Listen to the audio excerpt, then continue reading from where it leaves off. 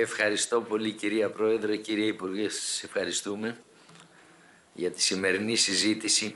Είναι ανάγκη να τοποθετηθούμε όσο γίνεται σύντομα, αλλά το ΚΚΕ θέλει και με τη σημερινή ευκαιρία της σημερινής συζήτησης να εκφράσει την έντονη αντίθεσή του με τη γενικότερη πολιτική της κυβέρνησης που τη θεωρούμε επικίνδυνη και τους χειρισμούς που έχουν γίνει στην, ε, στο Παλαιστινιακό πρόβλημα γενικότερα στις εξελίξεις στη Μέση Ανατολή.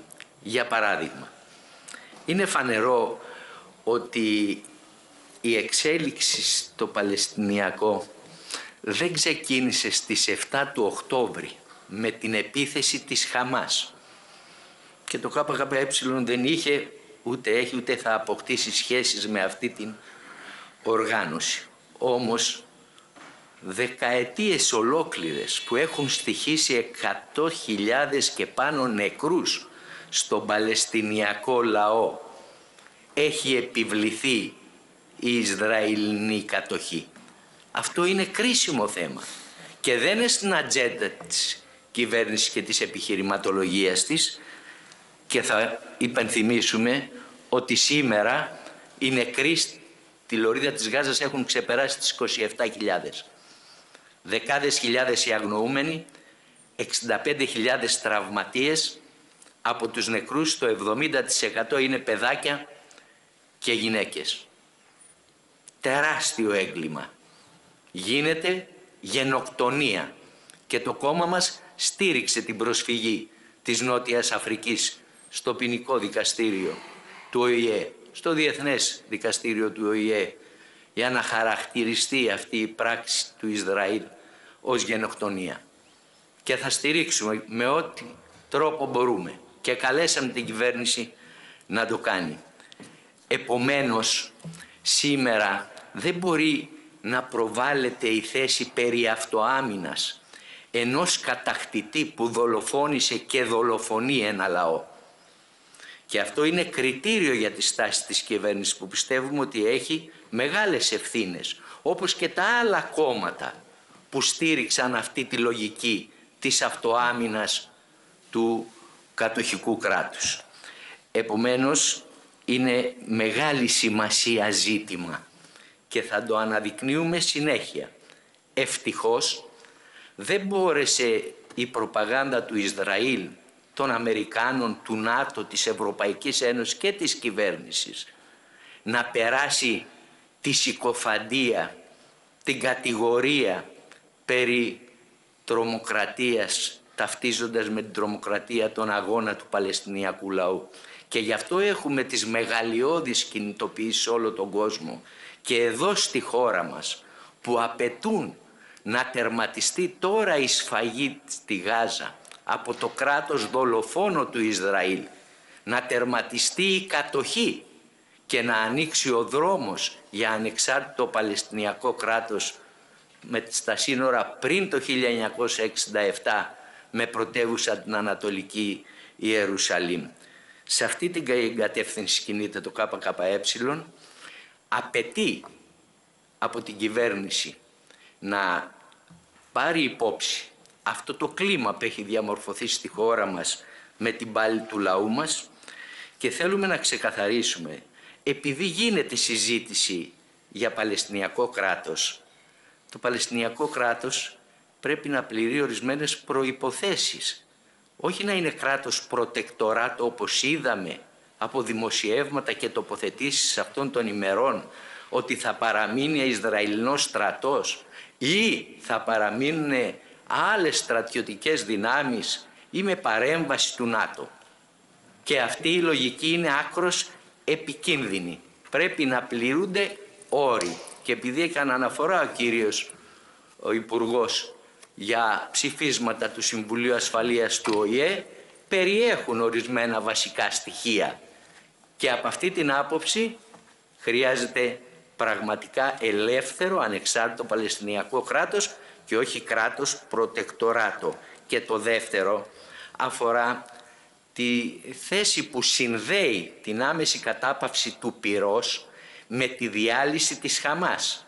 Η θέση αυτή οδηγεί ουσιαστικά σε ακύρωση κάθε προσπάθειας για άμεση κατάπαυση του πυρός και όπως είδαμε περιέχεται και στο τελευταίο ψήφισμα του Ευρωκοινοβουλίου. Από αυτή την άποψη το ΚΚΕ έχει τοποθετηθεί και δεύτερο ζήτημα που θέλουμε να σταθούμε πολύ σύντομα είναι η κατάσταση στην Ερυθρά θάλασσα και θα έλεγα στην ευρύτερη περιοχή όπου πραγματικά ο κίνδυνος ανάφλεξης ε, είναι μπροστά μας. Και εδώ δεν ξεκίνησε η ιστορία τώρα με τους Χούθη. Υπάρχει πολύχρονος πόλεμος, επίθεση της Σαουδικής Αραβίας. Και η γνώμη μας είναι ότι η κατάσταση κλιμακώθηκε με τη συγκρότηση της ε, επιχείρησης της αποστολής φρουρός της ευημερίας που είναι και υποκριτικό και προκλητικό με πυρήνα τις Ηνωμένες Πολιτείες και τη Βρετανία. Είναι παράγοντας κλιμάκωσης. Και βεβαίως έχει σημασία που συζητάμε για τις συνέπειες αλλά πρώτα απ' όλα πρέπει να δούμε την πηγή του προβλήματος. Και η πηγή του προβλήματος, κυρίες και κύριοι, που προκάλεσε αυτή την κατάσταση είναι η πολύχρονη Ισραηλινή κατοχή στα Παλαιστινιακά εδάφη. Σε περίπτωση που γίνονται βήματα στην πορεία προς ανεξάρτητο Παλαιστινιακό κράτος, ακόμα και για να τερματιστεί το μακελιό στη Γάζα, η κατάσταση μπορεί να αποκλιμακωθεί. Βεβαίως, σημαντικός παράγοντας που δεν είναι τωρινός είναι η, έντονη αντιπαράθεση, ο υπεριαλιστικός ανταγωνισμός στην περιοχή ανάμεσα στις Ηνωμένες Πολιτείες, Ευρωπαϊκή Ένωση, Ρωσία, Κίνα, Ιρά, Ιράν με στόχο τον έλεγχο της περιοχής. Και αυτό τροφοδοτεί την κλιμάκωση. Και θα λέγαμε ότι έχουμε θέσει στην κυβέρνηση την απέτησή μας ως ΚΚΕ καμιά εμπλοκή της Ελλάδας τόσο στο πλευρό του Ισραήλ όσο και στα πλαίσια του Αμερικανατοϊκού σχεδίου για την παρουσία ελληνικών στρατιωτικών δυνάμεων στην Ερυθρά θάλασσα. Εάν θα πάει φρεγάτα, η κυβέρνηση τη στέλνει συνειδητά στο στόμα του λύκου και με την ευκαιρία καταγγέλουμε την τοποθέτηση του κυρίου Δένδια, του Υπουργού Άμυνας, που είπε ότι προσφέρει ο ίδιος, δεν έχω ράφη του, την, το στρατηγείο της Λάρισας για να πρωταγωνιστήσει στην ευρωπαϊκή επιχείρηση στην Ερυθρά Θάλασσα. Είναι απαράδεκτη αυτή η δήλωση. Η κατάσταση είναι πολύ επικίνδυνη. Ούτε μία ούτε δύο, καμιά ελληνική φρεγάτα στην Ερυθρά θάλασσα, άμεσα να αποχωρήσουν οι, ελληνικές ένοπλες δυνάμεις από κάθε νατοική ή ευρωατλαντική αποστολή να επιστρέψουν οι Πάτριοτ από τη Σαουδική Αραβία. Σε αυτή την κατεύθυνση κινείται η πάλι του ΚΚΕ και τέλος κυρία Πρόεδρε έχουμε δύο ερωτήσεις να κάνουμε. Εάν θα τις κάνουμε τώρα ή στη συνέχεια. Μπορώ να τις κάνω τώρα σύντομα και να... Ναι, θα, ε, γιατί είναι σοβαρά. Το ένα αφορά τις τυμπανοκρουσίες για την αγορά των Αμερικάνικων μαχητικών F-35 που κατά τη γνώμη μας αποκρύπτουν την ουσία ότι υπηρετεί το σχέδιο αυτό νατοικές ανάγκες και σχεδιασμούς και όχι την άμυνα της χώρας.